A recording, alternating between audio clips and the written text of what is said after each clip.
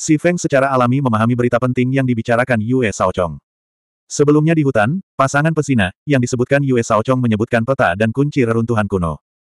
Si Feng kecil, kita harus menemukan wanita beracun berambut putih itu. Kita tidak bisa membiarkan orang lain mengalahkan kita. Yue Shaochong berkata pada Si Feng lagi. Kunci dan peta reruntuhan kuno. Bukankah saat itu pasangan yang berzina itu menjatuhkanku dari tebing? Kemudian, mereka membagikan rahasia makam kuno itu kepada saya. Sekarang, Keduanya adalah martial science di usia yang sangat muda. Mereka menjadi jenius. Jika, jika saya dapat menemukan wanita beracun berambut putih, membunuhnya, dan mendapatkan kunci serta peta di tangannya, maka... Maka ketika saya menemukan reruntuhan kuno, mungkin, mungkin saya dapat mencapai lebih banyak. Saat itu, aku akan membalas dendam. Hati Yue Shaochong mulai membara ketika dia memikirkan reruntuhan kuno. Kemudian, dia teringat akan balas dendamnya tahun itu. Wu Shuang, Wu Shuang, gadis malang ini, di mana kamu? Si Feng bergumam pelan sambil mengikuti Yue Shaochong. Sekarang, pasukan Yin Kors sedang mencari ke segala arah. Mereka telah memperluas pencarian mereka, namun mereka tetap tidak menemukan jejaknya. Kota Beiyuan, kemarin. Di pasar antik kota Beiyuan, Yuan Tong, Tuan Muda kota Beiyuan, kebetulan menemukan peta harta karun dan kunci misterius. Namun, Yuan Tong adalah orang terkenal dan berpikir bahwa dia adalah Tuan Muda kota Beiyuan. Tidak ada yang berani mempunyai gagasan apa pun tentang dia. Oleh karena itu, Yuan Tong tertawa terbahak-bahak. Untuk memberitahu orang-orang bahwa dia adalah tuan muda kota Bei Yuan, Yuan Tong, dia dengan bangga memberitahu orang-orang di sekitarnya bahwa dia telah menemukan peta dan kunci reruntuhan kuno. Hal itu menarik perhatian orang-orang di sekitarnya. Tentu saja, hal itu juga menarik perhatian serakah dari beberapa orang yang tersembunyi di antara kerumunan. Selama ini, Yuan Tong dengan angkuh melirik kerumunan. Tiba-tiba, dia melihat seorang wanita dengan rambut panjang seputih salju dan berpakaian putih. Saat Yuan Tong melihatnya, dia menjadi gelisah. Adegan kotor muncul di benaknya. Segera setelah itu, Yuan Tong mengabaikan kerumunan di sekitarnya dan berjalan mendekat. Dia membuka tangannya dan ingin memeluk wanita itu. Namun, dia tidak menyangka bahwa sebelum dia bisa mendekati wanita itu, dia tiba-tiba akan melolong menyakitkan. Wajahnya tiba-tiba mulai membusuk. Segera setelah itu, pembusukan dengan cepat menyebar ke seluruh tubuhnya. Di saat yang sama, hal yang sama terjadi pada 12 penjaga di belakang Yuan Tong. Wajah mereka mulai membusuk, dan mereka menjerit kesakitan. Busuk mulai menyebar dengan cepat ke seluruh tubuh mereka. Pada akhirnya, Gubernur Kota Muda Kota Beiyuan dan 12 penjaga kerajaan bela diri yang mengikutinya meninggal dengan tubuh membusuk. Wanita aneh berambut putih itu mengambil peta dan kunci yang masih dipegang Yuan Tong di tangannya dan meninggalkan pasar barang antik dalam sekejap. Ada juga banyak orang yang melihatnya meninggalkan kota Beiyuan. Berita tentang wanita beracun berambut putih yang membunuh tuan muda kota Beiyuan dengan cepat mengguncang seluruh kota Beiyuan. Penguasa kota-kota Bei Yuan bahkan mengeluarkan hadiah 10 juta batu primal. Dalam sekejap, kota Bei Yuan bergejolak. Beberapa berada di sini untuk mendapatkan 10 juta batu primal, sementara beberapa lainnya berada di sini untuk mendapatkan peta dan kunci reruntuhan kuno. Temukan wanita beracun berambut putih. Si Feng terus mengikuti Yue Sao Chong yang berpengalaman, dan terus mencari informasi wanita beracun berambut putih itu. Tidak peduli apa yang dipikirkan Yue Sao Chong, dia akan menganalisisnya dengan cermat untuk Si Feng. Saat ini, Kuburan muncul di depan mereka. Sekilas, tempat itu penuh dengan kuburan. Yue Chong menunjuk ke kuburan dan menganalisanya pada Si Feng, kemungkinan besar wanita beracun berambut putih itu bersembunyi di tempat seperti ini.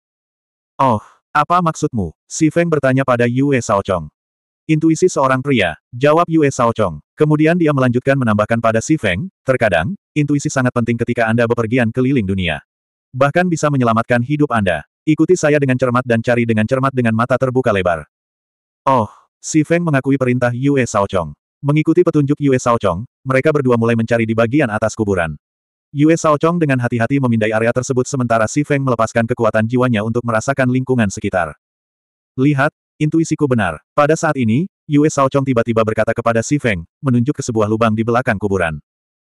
Lubang tersebut sepertinya memiliki beberapa gundukan dan cekungan, dan sepertinya itu adalah lubang yang baru digali. Melihat ke bawah, orang bisa melihat lubang yang dalam dan tak berdasar.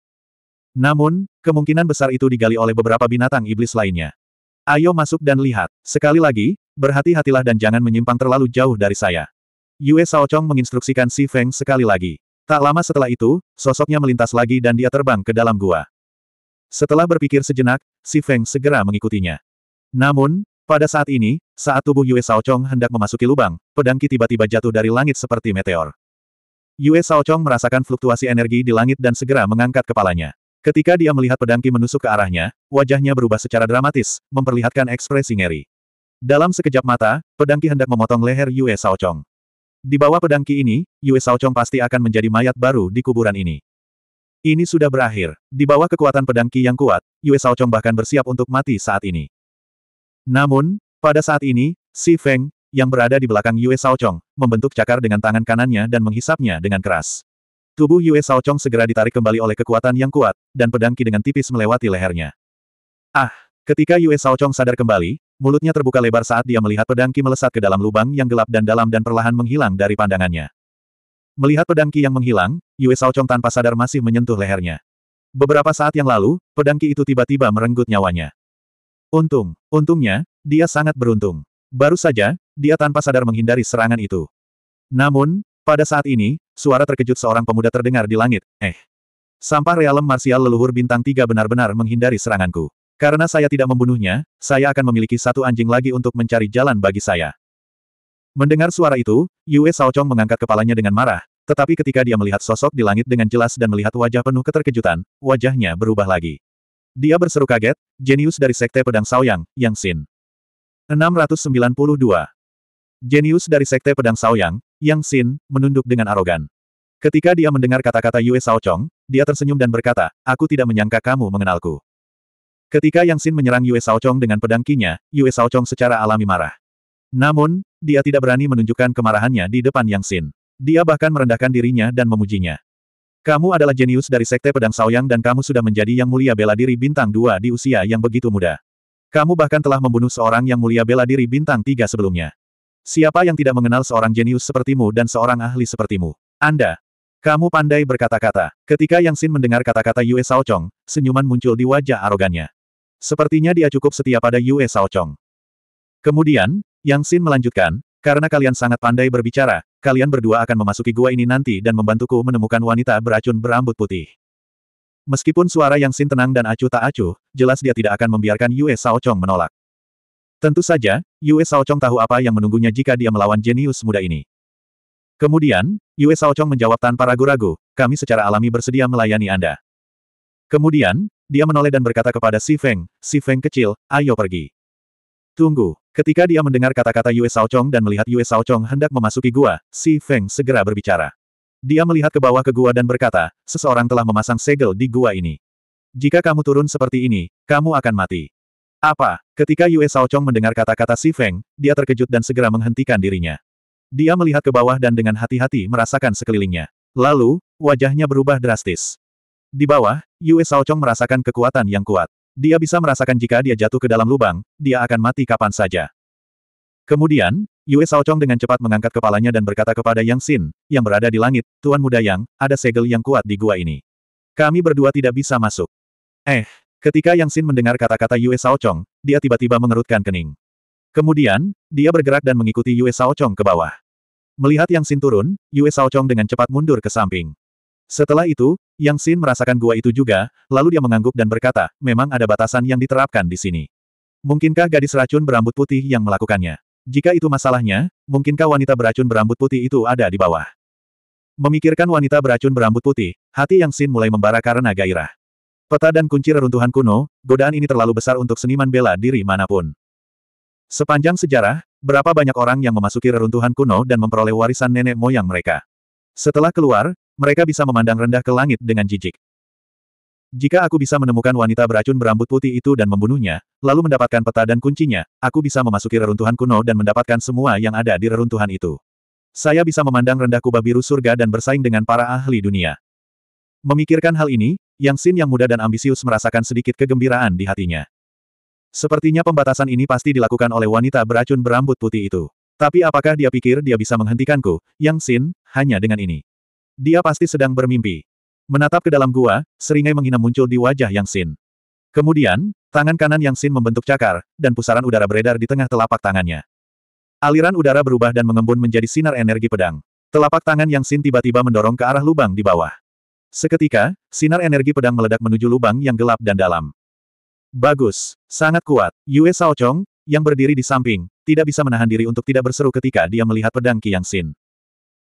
Tepat ketika Yue Shaochong melihat sekilas Yang Xin memandangnya dari sudut matanya, dia tidak bisa menahan diri untuk mengungkapkan ekspresi dan menambahkan, seperti yang diharapkan dari jenius Sekte Pedang Shaoyang, Yang Xin. Yue Chong harus mengakui bahwa setelah menjelajahi dunia selama beberapa tahun terakhir, dia telah belajar mengamati ekspresi orang.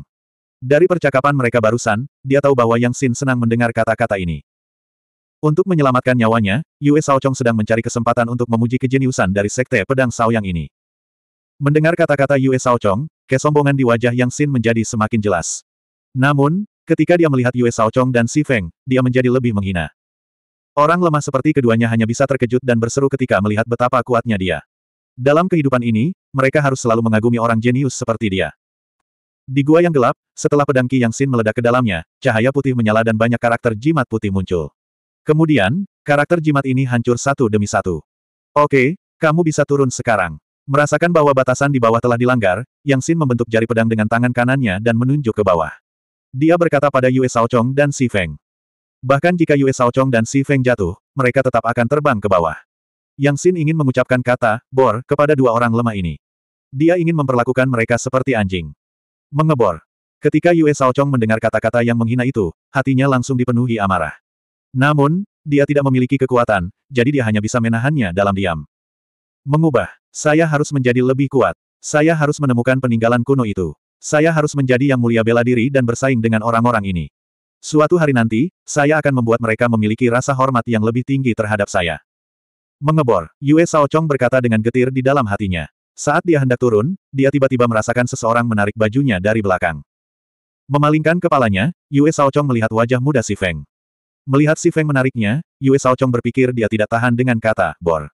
Dia buru-buru berkata kepada Si Feng, ayo turun. Si Feng kecil, cepatlah. Jangan tunda urusan Tuan Yang. Yue Chong berkata pada Si Feng dan mengedip padanya. Dia tahu betul di dalam hatinya bahwa jika mereka berdua tidak turun, kemungkinan besar mereka akan membuat marah Yang Xin dan menyebabkan bencana kematian. Menghadapi kekuatan absolut, seorang ahli hanya bisa menyembunyikan amarahnya di dalam hatinya. Ada gerakan. Melihat Yue Chong, yang memberi isyarat padanya dengan matanya, Si Feng berkata dengan acuh tak acuh. Sesuatu sedang terjadi. Apa itu? Mendengar kata-kata Si Feng, Yue Chong menjadi bingung. Dia tidak tahu apa yang dia bicarakan. Apa, apa yang terjadi? Namun, di detik berikutnya, terdengar ledakan keras dari tanah. Kemudian, di bawah tatapan Yue Chong, tanah tiba-tiba berguncang seolah-olah sedang terjadi gempa bumi yang dahsyat. 693. Apa, apa yang terjadi? Ekspresi Yue Chong berubah drastis saat dia melihat tanah bergetar. Ayo pergi, Si Feng berkata dengan tenang kepada Yue Chong. Tanpa ragu, Yue Chong terbang ke langit. Tidak hanya Si Feng dan Yue Chong, tetapi juga Yang Xin, si jenius dari Sekte Pedang Saoyang, juga terbang ke langit saat dia merasakan tanah bergetar. Gemuruh, gemuruh, gemuruh. Suara gemuruh dan gemetar terus terdengar dari kuburan di bawah mereka bertiga, dan tanah berguncang semakin keras. Kemudian, bumi menjadi selembut pasir, dan kuburan-kuburan mulai tenggelam. Pemakaman ini, bagaimana bisa terjadi keributan sebesar itu? Kemudian, Yue Chong tiba-tiba teringat sesuatu dan berseru, wanita racun berambut putih, mungkinkah itu ulah wanita racun berambut putih? Reruntuhan kuno. Mungkinkah itu peninggalan kuno? Melihat kuburan yang bergetar di bawah, Yang Sin dari Sekte Pedang Saoyang memikirkan sebuah pertanyaan dan berseru. Mungkinkah reruntuhan kuno berada di bawah kuburan ini? Wanita beracun berambut putih telah menggunakan peta kuno untuk menemukan lokasi reruntuhan kuno. Faktanya, reruntuhan kuno ada di sini. Lalu, barusan, wanita beracun berambut putih itu menggunakan kunci relik untuk menyentuh relik kuno, yang menyebabkan keributan besar di sini. Pada saat ini, Yang Sin menjadi gelisah karena tebakannya. Apakah ini benar-benar peninggalan kuno? Yue Chong merasa bersemangat saat memikirkan tentang getaran yang disebabkan oleh reruntuhan kuno di bawah. Peninggalan kuno, bahkan Si Feng, yang selama ini tenang, tergoda. Saat ini, yang paling dia inginkan adalah kekuatan, menjadi lebih kuat. Jika itu benar-benar peninggalan kuno, mungkin ada bahaya, tapi mungkin juga ada peluang yang tidak terduga. Mungkin dia bisa mendapatkan artefak yang bisa membuatnya lebih kuat atau meningkatkan kekuatan tempurnya. Di masa lalu, dia telah menemukan lorong yang ditinggalkan oleh orang-orang kuno di ruang bawah tanah keluarga adil dan memperoleh pedang suci. Di masa lalu, dantiannya telah hancur. 30 mil di utara kota Blue Moon, dia telah memasuki reruntuhan kuno dan memperoleh api suci tingkat surga, yang telah dia gabungkan dengan dantiannya. Di masa lalu, dia telah memasuki ruang berwarna merah darah dari Blood Demon dan mendapatkan armor berwarna merah darah dan prasasti berwarna merah darah. Setelah itu, dia mengalahkan pemimpin sekte Floating Void, Piao Sueyan, yang telah melarikan diri dari tempat kematian terlarang dan mendapatkan sabit bulan purnama yang dia bawa dari tempat kematian terlarang. Sekarang, sabit bulan purnama telah berevolusi menjadi sabit kematian yang legendaris dan membantunya membunuh banyak musuh yang kuat. Kemudian, dia memasuki tanah terlarang kematian dengan dantiannya, kristal biru jiwa surga. Ini semua adalah harta karun yang tersisa dari zaman kuno. Ledakan, ledakan, on on on. Segera, lampu tiba dan menampakkan sosok para seniman bela diri. Ruang kosong tempat Si Feng, Sue, Pedang dan Sue, Sue awalnya dipenuhi orang. Ketika Yue Chong melihat wajah-wajah di antara kerumunan, dia tidak bisa menahan diri untuk tidak berseru, orang ini adalah Pan Guang, jenius dari Sekte Batu Padat. Yang terhormat bela diri bintang 2. Ini, pemimpin Sekte dari Sekte Langit Dingin, Han Long. Seorang yang terhormat bela diri dari Sekte Samsung. Nyonya suci dari tiga kehidupan sekte, Si Ling Rou. Dia juga seorang martial honorable bintang 2. Yue Chong mengulangi nama-nama itu satu per satu. Sepertinya dia kenal banyak orang. Selanjutnya, nama-nama yang keluar dari mulutnya semuanya adalah ahli realem martial honoret. Tempat ini adalah tempat berkumpulnya para pahlawan, jenius, dan ahli. Yue Chong berbalik dan berkata pada Si Feng. Kemudian, dia mengingatkan Si Feng, ingat orang-orang yang saya sebutkan sebelumnya. Kamu harus ingat orang-orang yang aku sebutkan tadi. Jangan memprovokasi mereka. Sebaiknya kamu tidak dekat-dekat dengan mereka. Para ahli biasanya temperamental. Beberapa dari mereka bahkan tidak mementingkan nyawa kita. Kemungkinan besar mereka bahkan tidak tahu bagaimana mereka mati. Oh, jadi begitulah para ahli. Si Feng tersenyum pada Yue Shaochong. Dia akhirnya mengerti apa yang ada dalam pikiran Yue Shaochong. Jadi seperti inilah rupa seorang kultivator yang kuat. Namun, Si Feng juga mengalihkan pandangannya ke kerumunan. Di antara orang-orang ini, tidak satu pun dari mereka yang memenuhi syarat untuk ditempatkan di matanya. Kemudian, Si Feng dan Yue Chong melihat pria yang telah menekan mereka sebelumnya. Dia adalah tuan yang tak terkalahkan. Ketika Yue Chong melihat pasangan pesinah yang disebutkan Yue Chong, tubuhnya gemetar dan dia berbalik untuk menyembunyikan wajahnya. Untungnya, ada banyak orang di sini. Pasangan itu tidak memperhatikannya. Saat ini, banyak sosok terbang ke arah mereka dari segala arah. Yang paling menarik perhatian adalah pasukan berbaju besi hitam yang berat. Ada sekitar 500 orang di tentara. Mereka memancarkan aura pembunuh yang kuat. Mereka dipimpin oleh seorang pria parubaya yang terbang di depan. Pria parubaya itu tampak berusia empat puluhan. Dia memiliki wajah yang agung dan aura yang superior. Dia juga mengenakan baju besi berat berwarna hitam dan memegang tombak hitam panjang. Orang ini adalah Yuan Yi, gubernur kota Beiyuan. Dikatakan bahwa Yuan Yi adalah martial honorable bintang 6. Dikatakan juga bahwa dia kejam dan tanpa ampun. Mereka yang menyinggung perasaannya mungkin berpikir bahwa bunuh diri adalah hal yang baik. Anda harus ingat bahwa ini adalah keberadaan yang sama sekali tidak dapat kami provokasi. Yue Shaochong mengingatkan Si Feng ketika dia melihat Yuan Yi, gubernur kota Beiyuan. Nada suaranya serius. Dapat dikatakan bahwa itu adalah versi peringatannya yang diperkuat. Kemudian, Yuan Yi, gubernur kota Beiyuan, memimpin pasukannya yang berjumlah 500 orang ke lokasi kejadian. Pada saat itu, Yue Shaochong menghela nafas dalam hatinya. Begitu banyak orang yang datang ke relik kuno dan sepertinya semua manfaatnya akan dibagi oleh para martial honorables. Peluang Yue Shaochong untuk mendapatkan keuntungan akan sangat kecil. Gemuruh gemuruh gemuruh gemuruh, gemuruh, gemuruh, gemuruh. Tanah di bawahnya tampak mendidih dan berguncang lebih hebat lagi. Segera setelah itu, semua orang melihat retakan besar tiba-tiba muncul di tanah yang mendidih. Dari celah besar itu, sebuah benda besar perlahan naik sambil bergetar hebat. Begitu benda besar ini muncul, ia mengeluarkan aura kuno dan sunyi. Peninggalan kuno. Itu relik kuno. Peninggalan kuno telah muncul. Begitu raksasa ini muncul, bahkan sebelum ia menampakkan wajahnya, orang-orang di kehampaan mengeluarkan teriakan keras satu demi satu. 694. Saat ini, sudah ada 4.000 pembudidaya berkumpul di kehampaan. Di tanah yang bergetar di bawahnya, ada sebuah benda besar yang tampak seperti gunung raksasa. Di bawah tatapan lebih dari 4.000 orang, di bawah guncangan yang bergemuruh dan dahsyat, ia perlahan bangkit dan secara bertahap menampakkan penampilannya. Itu adalah istana perunggu yang sangat besar, tetapi bentuknya sangat berbeda dari istana masa kini. Sekilas terlihat bahwa itu adalah bangunan dari zaman kuno. Itu seperti binatang raksasa, merayap di tanah. Istana perunggu besar memancarkan cahaya cian samar dan aura kuno dan sunyi. Ini benar-benar peninggalan kuno. Melihat istana perunggu terungkap sepenuhnya, Si Feng berseru dalam hatinya. Namun, pada saat ini, di dalam kehampaan, banyak sosok bergerak bersama dan terbang menuju istana perunggu seolah-olah mereka telah setuju untuk melakukannya. Sekarang setelah peninggalan kuno itu terungkap sepenuhnya, para seniman bela diri tidak dapat lagi menahan kegelisahan hati mereka. Melihat begitu banyak sosok terbang ke bawah, Yue Shaochong, yang juga gelisah, dengan cepat menoleh dan berkata kepada Si Feng, ayo pergi, Si Feng kecil. Mungkin peluang kita ada di bawah sana. Mungkin setelah kita keluar, kita bisa terbang ke dalam langit dan menjadi ahli realem martial honoret. Kita bisa bersaing dengan pahlawan lainnya. Yue Shaochong berkata dengan gagah berani. Dalam benaknya, dia sudah membayangkan dirinya berdiri dengan bangga di Void dan memandang rendah para ahli realem martial honoret yang unggul itu. Selama dia menjadi ahli realem martial honoret, dia tidak lagi harus memandang orang-orang itu. Tunggu sebentar, Si Feng berkata pada Yue Shaochong dengan tenang lagi. Hmm, apa yang kamu temukan kali ini? Yue Shaochong hampir terjatuh ke dalam lubang dua kali sebelumnya. Untungnya, Si Feng telah memperingatkannya, jadi dia menghindari bahaya itu dua kali. Sekarang, dia mempercayai kata-kata Si Feng tanpa keraguan. Meskipun alam seni bela diri Si Feng hanya berada di alam kerajaan bela diri bintang satu, dia tampaknya cukup tanggap. Jika bukan karena dia, aku mungkin akan jatuh ke dalam lubang untuk pertama kalinya dan terbunuh oleh mantra pembatas di dalam lubang tersebut. Namun, begitu Yue Shaochong selesai berbicara, dia tiba-tiba mendengar tangisan menyakitkan dari bawah. Ah, ah, ah, ah, ah. Mendengar teriakan itu, Yue Shaochong dengan cepat menundukkan kepalanya. Pada saat ini, dia melihat teriakan itu keluar dari mulut para seniman bela diri yang jatuh ke dalam istana perunggu. Pada saat ini, seolah-olah ada sepasang tangan raksasa tak terlihat yang tak terhitung jumlahnya di bawah, merobek tubuh para seniman bela diri yang telah jatuh ke dalam istana perunggu menjadi berkeping-keping. Sangat menyedihkan. Di langit terjadi hujan darah dan hujan jasad yang hancur. Hanya dalam waktu singkat, ratusan petani telah tumbang. Para penggarap padat yang sedang turun melihat tragedi di bawah dan segera berhenti. Ekspresi serius muncul di wajah mereka masing-masing saat mereka menatap tanah di bawah.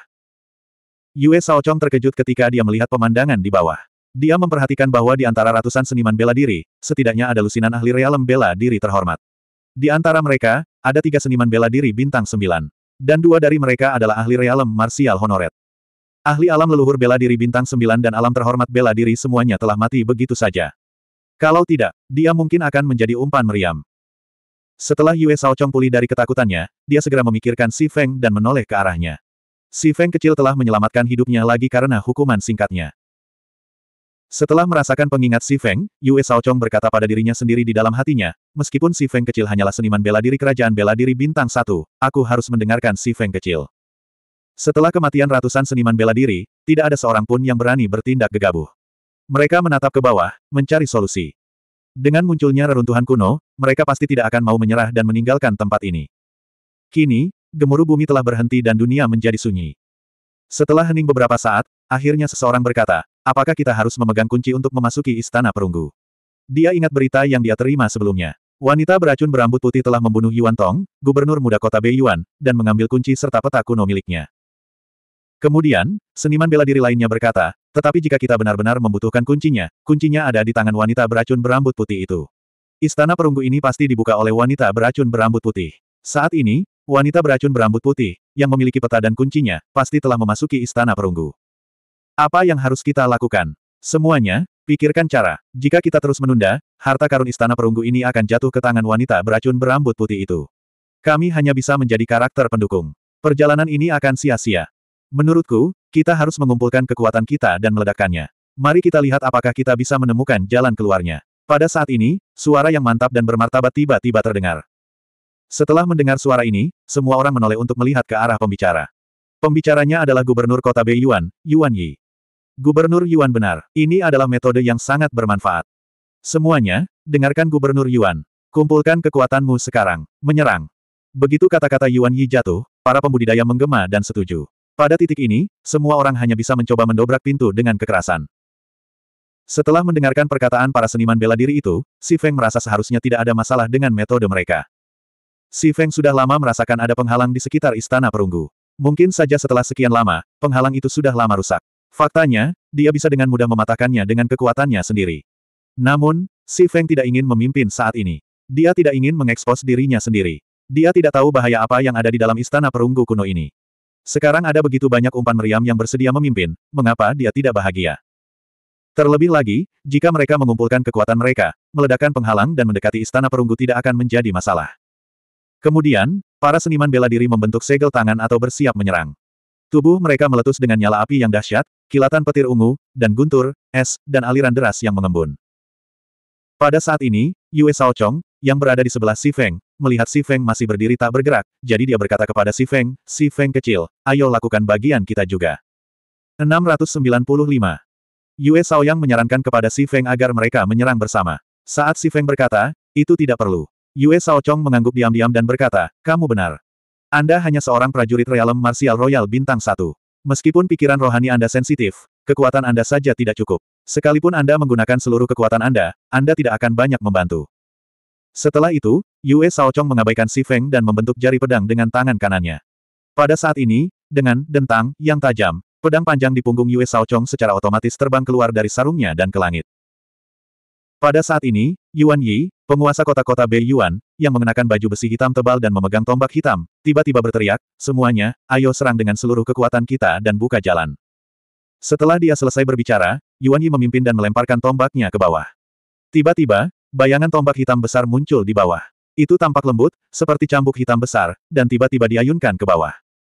Setelah itu, 500 tentara kota Bei Yuan di belakang Yuan Yi juga mulai mengacungkan tombak panjang mereka. Bayangan tombak hitam pekat muncul dari tanah di bawah. Pada saat inilah para penggarap mulai menyerang dengan sekuat tenaga. Petir, api, pedang ki, es, cahaya pedang, bayangan pedang, dan cahaya cemerlang menerangi seluruh dunia. Serangan yang padat itu seperti aliran deras yang melonjak ke bawah. Bahkan Yue Sao Chong, yang berada di sebelah Si Feng, mengendalikan pedang panjangnya dan mengubahnya menjadi cahaya pedang. Ledakan! Ledakan, ledakan, ledakan, retakan, retakan, retakan, retakan, retakan, retakan, retakan. Segera setelah itu, serangkaian ledakan terdengar satu demi satu dari bawah. Banyak kultivator telah merasakan bahwa gelombang serangan kekerasan yang baru saja mereka luncurkan memang telah bersentuhan dengan sebagian energi dan juga telah menghancurkannya. Kemudian, amukan energi menghilang dan cahaya menyilaukan menghilang. Gelombang serangan pertama berakhir dengan cepat. Segera, dunia kembali hening. Saat ini, banyak pasang mata yang masih tertuju ke tanah. Kemudian, prajurit lainnya berkata, agar aman, sebaiknya kita melancarkan gelombang serangan lagi dan mengirim beberapa prajurit untuk menyelidikinya. Setelah mendengar suara itu, banyak orang yang memusatkan perhatian pada orang itu. Segera, prajurit yang berbicara itu dikenali. Dia adalah Han Long, Master Sekolah Langit Pembekuan. Pejuang realem kehormatan Samsung Martial. Kata-kata Tuan Han masuk akal. Itu benar. Segera, kata-kata Han Long digaungkan dan disetujui oleh banyak orang. Namun, ada juga beberapa seniman bela diri yang lebih lemah yang merasa tidak nyaman. Paruh kedua kata-kata Han Long berarti dia akan mengirim beberapa prajurit untuk menyelidikinya. Setelah meluncurkan gelombang serangan lain, dia akan mengirim beberapa prajurit lemah ke sana untuk dijadikan umpan meriam. Oh tidak, pada saat ini, Yue Chong mendengar kata-kata Han Long dan berteriak pelan. Jika para pejuang kuat ini mencari umpan meriam, mereka akan dengan mudah memilih prajurit lemah seperti Yue Chong. Kemudian, Yue Chong berbisik kepada Si Feng, Si Feng kecil, mudah bagi mereka untuk menemukan kita jika mereka sedang mencari umpan meriam. Lebih baik kita mengambil kesempatan ini untuk menyelinap pergi. Ah, ah, ah. Saat suara Yue Chong jatuh, tubuhnya tiba-tiba bergetar. Beberapa saat yang lalu, dia tiba-tiba mendengar jeritan menyakitkan datang dari jauh.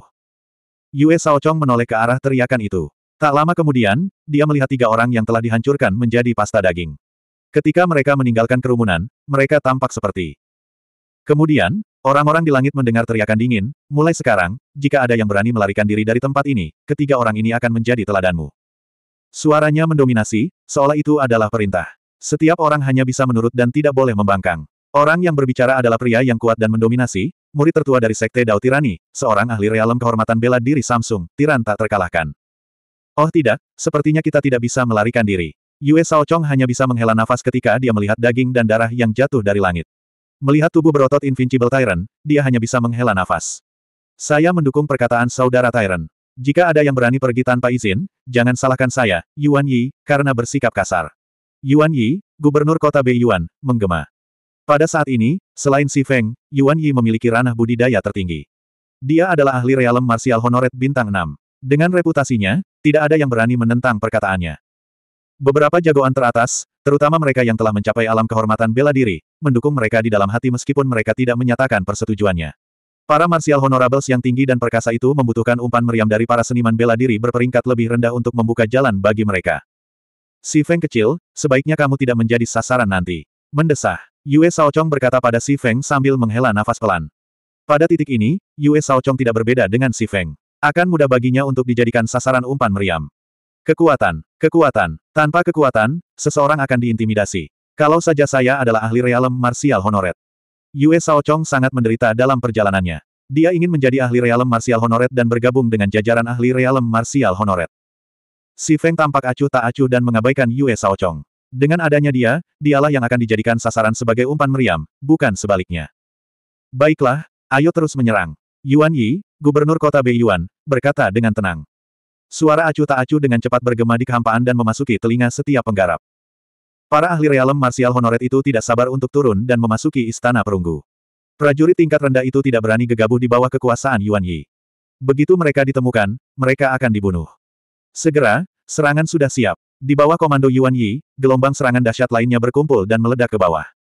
Serangkaian ledakan terjadi di belakang. Tirai serangan gelombang kedua dengan cepat terbuka, dan dunia kembali tenang. Ini tentang waktu. Si Feng bergumam ketika dia merasakan situasi di bawah setelah gelombang serangan kedua.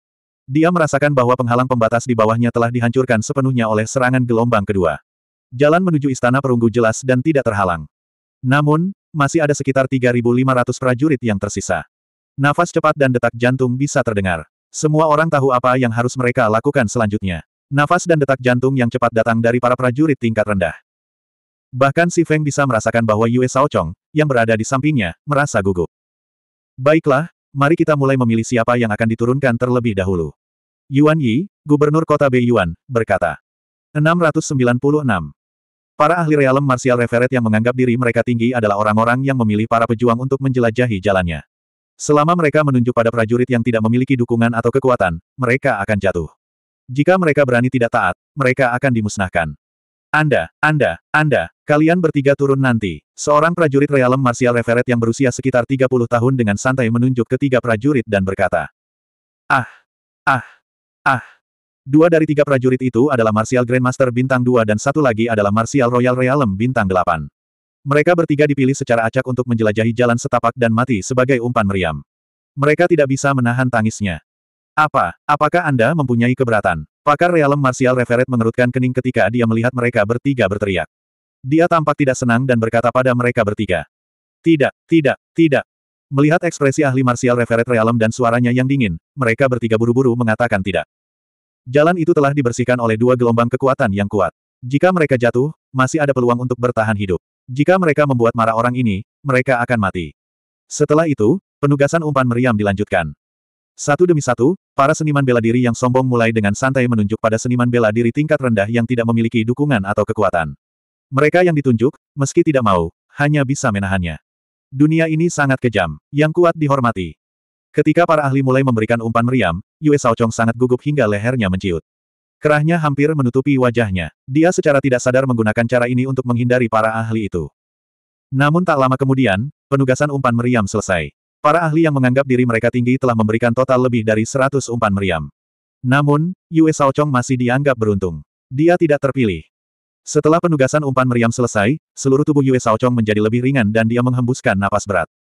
Saat ini, Yue Chong tersenyum dan menatap Si Feng. Dia tidak lupa mengajari Si Feng. Si Feng kecil, kamu harus ingat bahwa terkadang, keberuntungan juga merupakan bagian dari kekuatan. Kakakmu Yue, kakakmu Yue, nyaris lolos dari kematian beberapa kali selama beberapa tahun terakhir. Keberuntungan juga berkaitan dengan studi tentang nasib. Ini agak rumit dan mendalam. Saya khawatir otak Anda tidak dapat menerima begitu banyak informasi dalam waktu sesingkat itu. Aku tidak akan memberitahumu sekarang. Yue Chong mengajar Si Feng dengan semangat tinggi. Ratusan umpan meriam harus bersiap untuk menjelajahi jalan setapak. Saat ini, suara seorang pemuda tiba-tiba terdengar, tunggu. Saya ingin mengirim dua pengintai lagi. Setelah suara itu terdengar, banyak tatapan mata segera menoleh. Ketika mereka melihat orang yang berbicara, seseorang berkata, itu pedang bebek Mandarin, Murongkang. Di sampingnya ada wanitanya, pedang bebek Mandarin, Tian Qingqing. Itu pedang Yuan Yang. Ketika Yue Chong, Yue Chong menoleh. Dan tubuhnya, tubuh Yue Chong. Ketika Yue Chong menghadapi pria itu, dia dengan keras berteriak, Murongkang. Tian Qingqing. Orang yang berteriak adalah pria yang ditemui Si Feng dan Yue Chong di hutan. Dia adalah pria yang disebut pasangan oleh Yue Chong. Pada saat ini, pria bernama Murongkang tersenyum mengejek sambil menatap Yue Chong. Istrinya, Tian Qingqing, yang berada di sampingnya, juga memasang senyum mengejek di wajahnya. Murong Kang berkata kepada Yue Chong, aku tidak menyangka kamu masih hidup, Yue Chong. Namun, kamu akan segera mati. Aku akan mempermainkanmu sampai mati. Kamu adalah elit martial honoret realem. Kamu berhak mengirim dua pengintai lagi. Yuan Yi, gubernur kota Beiyuan, berkata kepada Murong Kang. Murong Kang berbalik dan menangkupkan tinjunya ke arah Yuan Yi dari jauh. Lalu, dia menatap Yue Chong dengan tatapan mengejek. Kalian pasangan yang bersina, kalian benar-benar kejam. Saat itu, kamu menggunakan cara tercela untuk menipuku. Sekarang, kamu tetap tidak membiarkan aku pergi. Kalian berdua sangat kejam. Kalian berdua sangat kejam. Yue Chong tahu bahwa mereka berdua tidak akan membiarkannya pergi setelah melihatnya. Oleh karena itu, dia mengutuk mereka dengan keras. Wajah Murongkang dan Tian Qingqing menjadi dingin ketika mereka mendengar makian Yue Chong. Murongkang menunjuk ke arah Yue Chong dan berteriak, turun sekarang. Kalau tidak, Aku akan memotongmu menjadi beberapa bagian. Setelah mengatakan itu pada Yue Chong, Murongkang menunjuk ke arah Si Feng dan berteriak, dan kamu, sampah. Karena kamu bersama sampah ini, kamu akan mati bersamanya. Huff, ayo pergi. Aku tidak takut padamu. Yue Shaochong berkata tanpa rasa takut. Dia membusungkan dadanya dan mengangkat kepalanya dengan bangga di depan musuh bebuyutannya. Kemudian, dia melihat ke arah Si Feng dan berkata, Si Feng kecil, ayo pergi. Setelah Yue Shaochong mengatakan itu, dia memimpin dan melompat turun sebelum ratusan umpan meriam mulai berjatuhan. Pada saat ini, ekspresi Si Feng tenang saat dia mengikuti petunjuk Yue Shaochong. Kalian turun dan jelajahi jalannya. Pada saat itu, seorang yang mulia bela diri berteriak dengan arogan ke arah ratusan umpan meriam ketika dia melihat Yue Shaochong dan Si Feng turun. Dengan teriakan itu dan banyak tatapan menatap mereka, mereka tentu saja tidak berani lalai. Sekitar seratus orang juga mulai turun. Kakak senior, kenapa kamu tidak membunuh bajingan Yue itu secara langsung? Mulutnya terlalu bau. Tian Qingqing berkata kepada Murong Kang sambil menatap dingin sosok yang turun di langit. Mendengar perkataan Tian Qingqing, Murong Kang mencibir lagi dan berkata, bunuh dia. Itu terlalu mudah untuk sampah ini. Kemudian, Murong Kang melanjutkan, sekarang kita sudah mengincar bajingan ini, apakah menurutmu dia bisa melarikan diri? Saya ingin mempermainkannya sampai mati secara perlahan. Sebelum dia meninggal, biarkan dia merasakan betapa bahagianya bunuh diri sekarang. Ketika Murong Kang melihat Yue Shaochong lagi, dia sudah punya rencana untuk mempermainkannya sampai mati. Saat ini, Murong Kang masih memperhatikan Yue Shaochong dengan cermat. Jika Yue Shaochong benar-benar dalam bahaya, dia bahkan ingin menyelamatkan nyawa anjingnya. Hidup atau mati, hidup atau mati. Dia menyukai perasaan mengendalikan hidup dan mati sampah ini di tangannya. Dia akan mempermainkannya sampai dia mati. Di bawah, Yue Shaochong, yang masih terjatuh, tiba-tiba berkata kepada Si Feng, Si Feng kecil, jangan terbang begitu cepat. Kita harus memperlambatnya dengan sengaja, tapi jangan biarkan orang lain melihatnya. Kita harus melepaskan umpan meriam itu terlebih dahulu.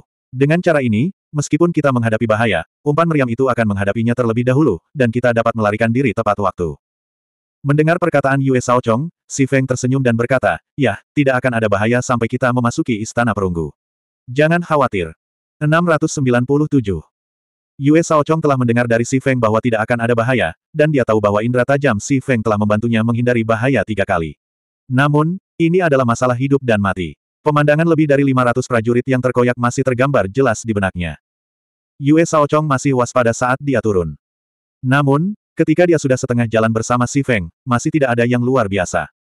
Benarkah seperti yang dikatakan Si Feng kecil? Apakah benar-benar tidak ada bahaya? Yue Shaochong bergumam pada dirinya sendiri. Dia sudah banyak tenang sekarang dan terus turun bersama Si Feng.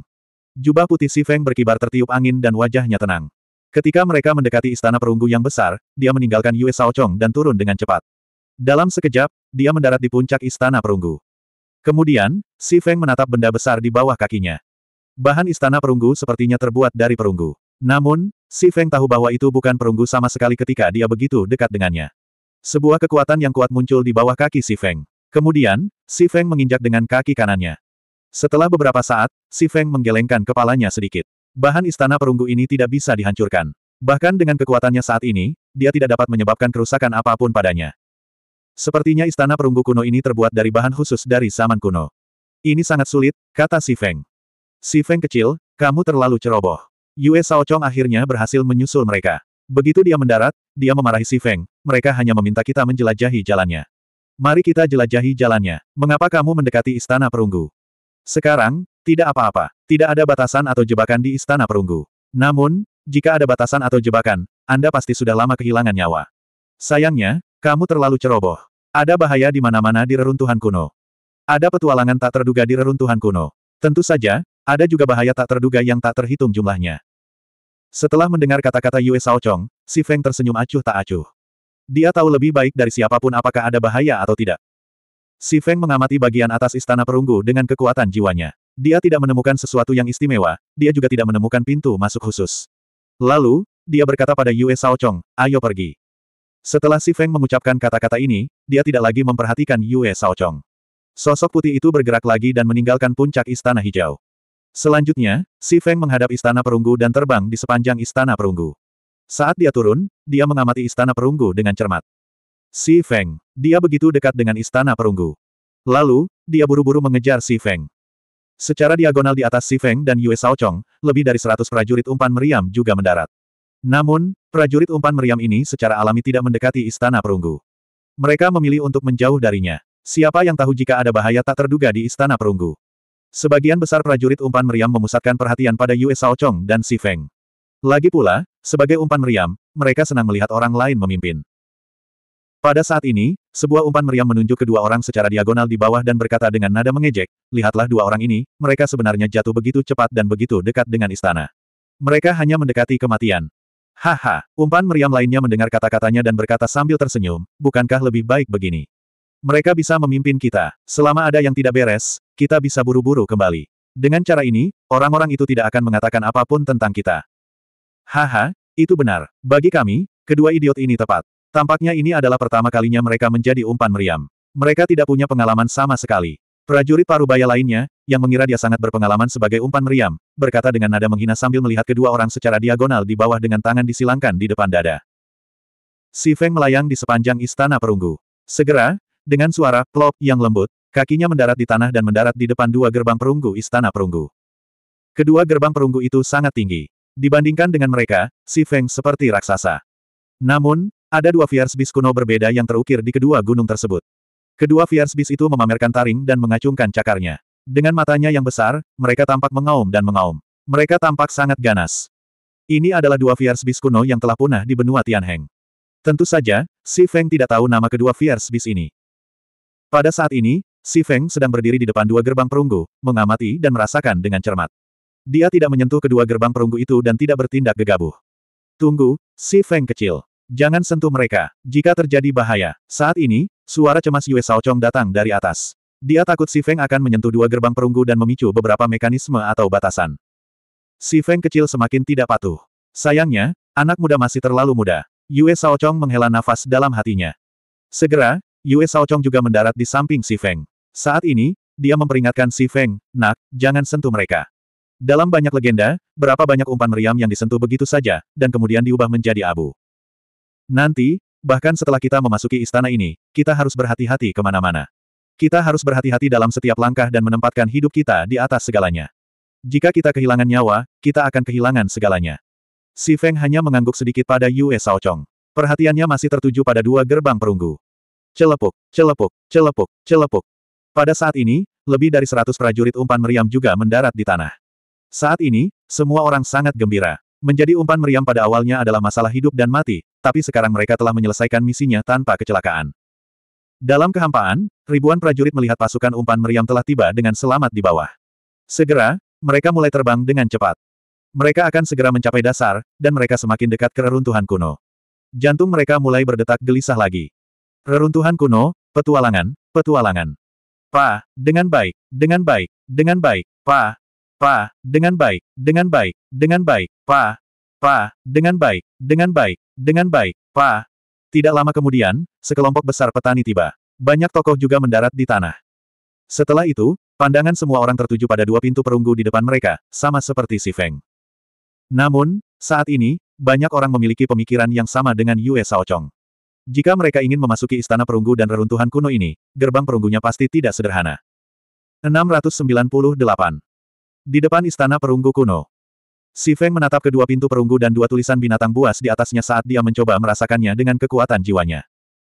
Namun, Si Feng segera merasakan bahwa dua prasasti binatang buas itu hanyalah prasasti binatang buas biasa. Tidak ada yang aneh pada mereka. Tampaknya mereka tidak akan menghadapi bahaya apa pun sebelum memasuki istana perunggu kuno. Pada saat ini, seorang kultivator dari kelompok kultivator di belakang Si Feng tiba-tiba berkata, karena kedua orang ini begitu dekat dengan kedua pintu, maka biarkan mereka membuka kedua pintu tersebut. Tubuh Yue Shaochong gemetar saat mendengar suara yang datang dari belakangnya. Apakah mereka mencoba mengirim mereka berdua ke kematian? Yue Shaochong menoleh dan melihat ke belakang. Segera, dia melihat orang yang berbicara. Itu adalah seorang prajurit parubaya. Yang mulia api, Duyan. Yue Shaochong terkejut saat melihat orang yang berbicara. Duyan mengolah flame martial Wei. Dia adalah seorang martial honorable yang sudah terkenal sejak lama. Orang-orang memanggilnya Yang Mulia Api. Yue Shaochong sangat terkejut hingga dia tidak bisa berkata-kata. Jika Duyan dan Yang Mulia Api meminta mereka untuk membuka dua pintu perunggu, mereka tidak akan bisa untuk tidak patuh. Dia ingin mereka menjadi umpan meriam yang pasti akan mati. Setelah Duyan selesai berbicara, orang lain berkata, kalau begitu, biarkan mereka berdua pergi. Kalian berdua, cepat dan buka pintunya. Jangan buang waktu semua orang. Kalau tidak, aku tidak akan melepaskanmu dengan mudah. Jin Sen, penatua dari Sekte Titanium. Yue Shaochong terkejut saat melihat orang lain berbicara. Kemudian, Yue Shaochong menyadari bahwa kerumunan itu sedang melihat mereka berdua. Banyak dari mereka yang tersenyum mengejek. Dia hanya memandang dengan dingin saat dia mengirim dirinya sendiri ke kematiannya. Kecil, si Feng kecil, sepertinya kita tidak akan bisa lolos dari ini. Yue Chong berkata kepada si Feng, yang berada di sampingnya, dengan sedih. Dia tahu jika mereka berdua tidak membuka pintu, mereka akan diserang oleh orang-orang di belakang mereka. Apa? Apa yang sudah kulakukan hingga pantas menerima ini? Yue Chong menghela nafas dalam hatinya. Kemudian, dia menatap wajah muda si Feng dan berkata pada dirinya sendiri, lupakan saja. Dia masih sangat muda. Jika dia ingin mati, aku akan melakukannya sendiri. Si Feng kecil, sebaiknya kamu berdiri di sini dan tidak bergerak. Biarkan aku membuka pintunya. Jika ada bahaya, ingatlah untuk segera mundur. Hidup Anda adalah hal yang paling penting. Kata Yue Chong pada Si Feng. Kamu tidak bisa membuka pintu ini. Si Feng menggelengkan kepalanya dan berkata pada Yue Chong. Aku, aku juga mengetahuinya. Yue Chong menghela nafas dan kemudian berkata kepada Si Feng tanpa daya, begitu kita membuka pintu, kemungkinan besar kita akan mati. Tapi, apakah kita punya pilihan lain? Apa yang sedang kalian lakukan? Tunggu apa lagi? Apa yang kamu gumamkan? Anda membuang-buang waktu kami. Apakah kamu benar-benar ingin mati? Saat ini, suara dingin terdengar lagi dari belakang mereka. Dari suara ini, dapat terdengar bahwa jika Si Feng dan Yue Chong ragu-ragu, orang yang mendesak mereka untuk membuka pintu akan menyerang mereka. Yue Chong mengenali bahwa itu adalah suara yang mulia api, Duyan. Duyan berlatih seni bela diri api dan memiliki temperamen yang sangat berapi-api. Yue Chong tahu dengan jelas bahwa jika dia ragu-ragu lebih lama lagi, konsekuensinya akan sangat buruk. Ah! Namun, segera setelah itu, ledakan jeritan kesakitan terdengar. Yue Chong gemetar tanpa sadar saat mendengar teriakan itu. Dia tidak bisa tidak melihat ke arah Si Feng, yang berdiri di sampingnya. Namun, ketika Yue Chong memandang Si Feng, dia melihat bahwa dia masih berdiri di sampingnya, tidak terluka. Tunggu, suara itu, kedengarannya seperti. Apa yang sedang terjadi? Duyan? Apa yang terjadi dengan Duyan? Apa yang sedang terjadi? Apa yang terjadi padanya? Ah, Duyan, dia meninggal. Di belakang Yue Chong, tiba-tiba terjadi keributan. Itu suara Duyan. Apakah Duyan sudah mati? Yue Chong menyadari bahwa teriakan itu berasal dari Yang Mulia Api, Duyan. Namun, ketika dia mendengar kata-kata, Yang Mulia Api sudah mati, dia menjadi bingung dan tanpa sadar berbalik. Pada saat ini, tempat Duyan berdiri dikelilingi oleh kerumunan. Tampaknya orang-orang ini ada di sana untuk memeriksa kondisi Duyan. Kemudian, suara lain membenarkan, Duyan memang sudah mati. Dia berhenti bernapas dan jantungnya berhenti berdetak. Tapi, tapi bagaimana Duyan bisa mati begitu saja? Sepertinya dia benar-benar mati. Yue Chong sangat gembira saat mendengar konfirmasi tersebut. Kemudian, dia berkata pada dirinya sendiri, bajingan itu ingin kita mati. Orang seperti ini pantas mati.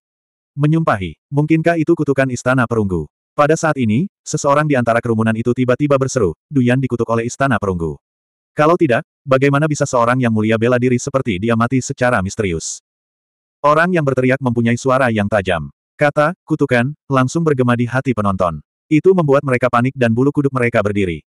Reruntuhan kuno sangat misterius. Kemalangan tak terduga sering kali menyertai orang-orang seperti Dewa Kematian, yang datang secara diam-diam.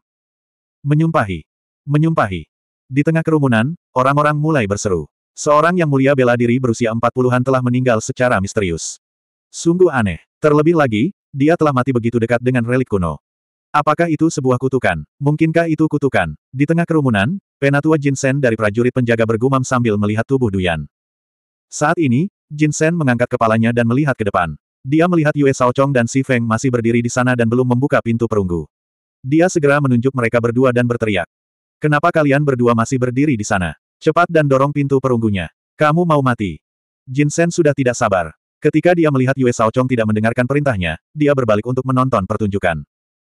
Namun, pada saat ini, saat Jin Sen selesai berbicara, Jin Sen tiba-tiba berteriak kesakitan, ah. Pada saat ini, banyak tatapan langsung melihat ke arah tetua sekte Jingang, Jin Sen. Tiba-tiba, Jin Sen meraung keras. Wajahnya dipenuhi rasa sakit yang luar biasa saat tubuhnya jatuh ke tanah. Situasi ini persis sama dengan situasi Duyan sebelumnya. Pada saat ini, seorang kultivator berjalan ke depan, berjongkok, dan memeriksa Jin Sen yang jatuh ke tanah. Setelah itu, kultivator tersebut berdiri, menggelengkan kepalanya ke arah kerumunan, dan berkata dengan suara rendah, Jin Sen sama seperti Duyan. Napasnya berhenti, dan denyut nadinya berhenti berdetak. Dia sudah mati. 699. Apa? Apa? Apa? Teriakan alarm terdengar dari kerumunan. Meskipun mereka telah menduga bahwa tetua sekte Raja Penjaga telah meninggal seperti Duyan ketika mereka melihat kondisinya, mereka yakin bahwa dia telah meninggal. Tapi setelah dikonfirmasi, orang-orang tidak bisa menahan diri untuk tidak berteriak kaget. Dua ahli tak tertandingi dari alam kehormatan bela diri telah meninggal dengan cara yang tidak dapat dijelaskan. Akan baik-baik saja jika hanya satu dari mereka yang mati. Namun, keduanya meninggal satu demi satu. Kepanikan yang lebih besar dari sebelumnya mulai menyebar di hati setiap orang. Mati, mati lagi. Mereka berdua ingin kita mati, tapi pada akhirnya, mereka mati lebih dulu. Melihat kerumunan itu, Yue Shaochong mencibir dalam hatinya.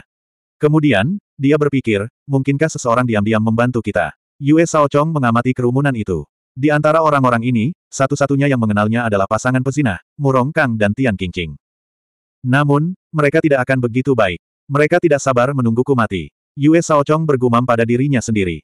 Yue Shaochong mengamati kerumunan dan akhirnya melihat si Feng. Dia menggelengkan kepalanya dan berkata dengan pasti, bagaimana mungkin? Si Feng kecil hanyalah seorang pejuang kerajaan bela diri bintang satu. Mungkin ada ahli tersembunyi yang tiada taranya di antara orang-orang ini. Mereka membunuh tanpa meninggalkan jejak. Mereka tidak tega melihat kami, dua talenta muda, mati seperti ini. Mereka tidak tahan dengan kesombongan dan despotisme mereka, jadi mereka membunuh mereka. Yue Shaochong menebak dalam hatinya. Mungkinkah, mungkinkah mereka membunuh Duyan dan Jin Shen? Pikirkan tentang itu. Sebelum mereka meninggal, mereka mendesak mereka untuk membuka pintu perunggu. Lalu, mereka mati. Pada saat ini, seorang kultivator mengingat kejadian sebelum kematian Duyan dan Jin Sen dan menggabungkan keduanya, menunjuk Si Feng di depan mereka saat dia berbicara dengan Yue Shaochong. Mungkinkah kedua orang ini adalah ahli tersembunyi yang tiada taranya? Tipe yang bisa membunuh tanpa meninggalkan jejak. Begitu orang ini mengatakan ini, seseorang langsung membantah, bagaimana mungkin? Jangan lupa bahwa kedua orang ini pada awalnya terpaksa menjadi umpan meriam. Jika mereka begitu mampu, mengapa mereka bersedia menjadi umpan meriam? Ini, itu benar. Itu hanyalah umpan meriam. Kemudian, lalu kenapa kedua orang ini meninggal? Dan sebelum mereka meninggal, mereka sepertinya mengatakan hal yang sama dan melakukan hal yang sama. Mungkinkah kata-kata terakhir mereka tabu di depan istana perunggu ini? Siapa pun yang mengucapkan kata-kata itu akan dikutuk dan mati. Pada saat ini, seorang pejuang memikirkan apa yang terjadi sebelum kematian mereka dan berseru. Setelah mendengar kata-kata prajurit itu, banyak orang mulai mengingat apa yang dikatakan Du Yan dan Jin Sen sebelum mereka meninggal. Kata-kata terakhir Duyan adalah, apakah kamu benar-benar ingin mati? Kata-kata terakhir Jin Sen adalah, apakah kamu ingin mati? Kamu mau mati. Kamu mau mati. Apakah itu tabu di istana perunggu ini? Banyak orang menebak-nebak dalam hati, tapi tidak ada yang berani mengatakannya dengan lantang. Mereka takut sekali mengatakannya, mereka akan memicu kutukan dan berakhir seperti Duyan dan Jin Sen. Namun, banyak juga orang yang menduga bahwa karena Duyan dan Jin Sen tidak dapat mendesak mereka untuk membuka kedua pintu perunggu tersebut, mereka pasti mendesak mereka untuk membuka kedua pintu perunggu tersebut. Pada saat ini, Si Feng perlahan berbalik dan melihat kerumunan prajurit di depannya. Melihat mereka menebak-nebak, banyak orang yang terlihat muram dan banyak orang yang terlihat gelisah. Pada saat ini, Yue Shaochong berbisik kepada Si Feng, Si Feng kecil, jangan buka pintunya dulu. Siapa pun yang meminta kita membuka pintu akan mati. Setelah mendengar kata-kata Yue Shaochong, Si Feng menyeringai. Tentu saja, dia tidak mau membuka pintu. Terlebih lagi, siapa pun yang memintanya membuka pintu harus mati. Kedua bajingan dari sebelumnya tidak tahu apa yang baik bagi mereka dan dibunuh oleh kekuatan jiwanya. Bagi si Feng, membunuh kedua marsial honorable hanyalah masalah pemikiran. Sekarang setelah semuanya menjadi seperti ini, menurutku kita tidak perlu berpikir terlalu banyak. Ayo buka pintunya dulu. Pada saat ini, seorang prajurit berkata dengan suara rendah. Orang yang berbicara adalah prajurit Realem Martial Honoret dari Samsung, pemimpin Sekte Langit Dingin, Han Long. Saya pikir karena relik kuno ada di depan kita, kita tidak mau menyerah dan kembali. Setelah Han Long selesai berbicara, dia melihat ke gubernur kota Beiyuan, Yuan Yi. Ketika Yuan Yi melihat Han Long menatapnya, dia mengangguk sedikit dan berkata dengan suara rendah, Saudara Han benar. Mari kita buka pintunya dulu sebelum memasuki istana perunggu. Tetapi siapa yang harus membuka pintu? Jangan lupa bahwa Duyan dan Jin Sen dikutuk sampai mati karena mereka meminta seseorang untuk membukakan pintu. Pada saat itu, seorang lelaki tua dari alam kehormatan bela diri angkat bicara. Itu benar. Kematian Duyan dan Jinsen mungkin memicu kutukan istana perunggu dengan meminta orang membuka pintu. Awalnya, ada dua umpan meriam di depan mereka. Namun, setelah kematian Duyan dan Jinsen, tidak ada yang berani meminta mereka membuka pintu. Tidak ada yang berani meminta mereka menjadi umpan meriam dan membuka pintu. Untuk sesaat, kerumunan kembali terdiam. Kedua pintu itu dipenuhi dengan bahaya yang tidak diketahui. Siapa yang mau mempertaruhkan nyawanya untuk membukanya? Pada saat ini, Si Feng juga sedang mengamati kerumunan di depannya. Pada awalnya, Si Feng bisa merasakan bahwa tulisan binatang buas di dua pintu perunggu itu normal. Kemudian, dia perlahan-lahan menyadari bahwa kedua pintu perunggu itu tampak familiar dan dia pasti pernah melihatnya di suatu tempat sebelumnya. Kemudian, dia perlahan mengingatnya. Melihat kerumunan, Si Feng dengan cepat menemukan orang yang membuka pintu.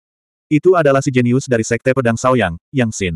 Sebelumnya, dia dengan arogan meminta mereka menggali lubang di tanah. Selain itu, dia memiliki nama yang perkasa dan mendominasi. Dia adalah murid tertua dari sekte yang mendominasi, tuan yang tak terkalahkan.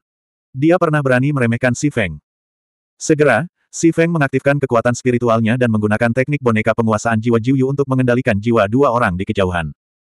Tubuhku, tubuhku, tuan yang tak terkalahkan tiba-tiba meraung marah. Apa yang sedang terjadi? Setelah mendengar raungan Invincible Overlord, semua orang mengalihkan perhatian padanya.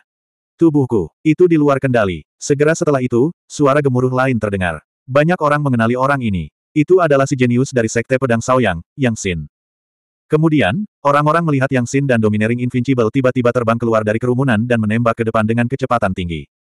Jiwa keduanya sudah berada di bawah kendali Si Feng. Dengan jiwa mereka di bawah kendali Si Feng, dia secara alami bisa mengendalikan tubuh mereka secara langsung.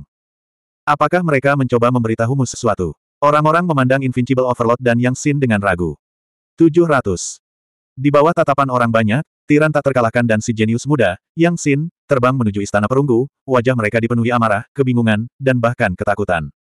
Ini, ini, mereka adalah Yue Sao Chong, yang berdiri di depan gerbang perunggu, terkejut ketika dia melihat Invincible Tyrant dan Yang Xin terbang ke arahnya. Dia pikir keduanya tidak tahan jika dia tidak membuka gerbang dan ingin membunuhnya. Penerjemah, editor terjemahan Endless Fantasy, terjemahan Endless Fantasy. Salah satu dari dua Martial Honorables dapat dengan mudah membunuhnya dan si Feng kecil, belum lagi fakta bahwa mereka terbang bersama. Berlari, ayo lari, si Feng kecil. Mereka di sini untuk membunuh kita. Yue Chong berteriak pada si Feng dengan panik.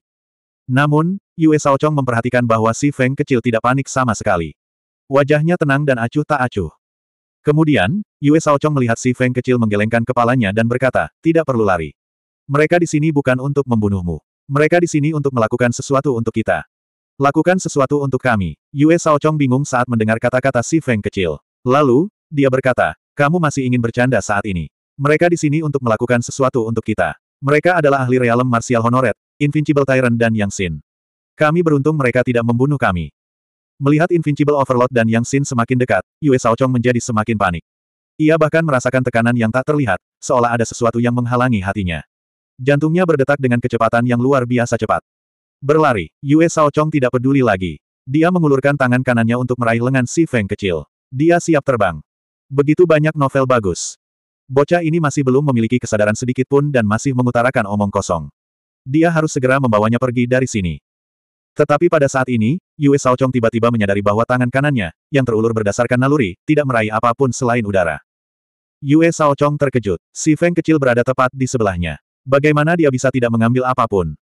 Namun, saat Yue Chong terkejut, dia merasakan sebuah tangan meraihnya dan menekan bahunya. Tubuh Yue Chong, yang hendak terbang ke dalam kehampaan, tiba-tiba ditahan oleh tangan itu, mencegahnya terbang ke langit. Apa yang sedang terjadi? Yue Chong berbalik kaget. Dia melihat si Feng kecil masih berdiri di sampingnya. Tangan di bahunya adalah tangan si Feng kecil. Itu dia. Tidak hanya pihak lain menekan bahunya, pihak lain bahkan mengerahkan kekuatan padanya, mencegahnya menerobos ruang. Sebelum Yue Chong bisa bereaksi, Dua ahli realem martial honoret adalah terjemahan Deles Fantasi Yue Chong terjemahan Deles Fantasi Sue Chong adalah terjemahan.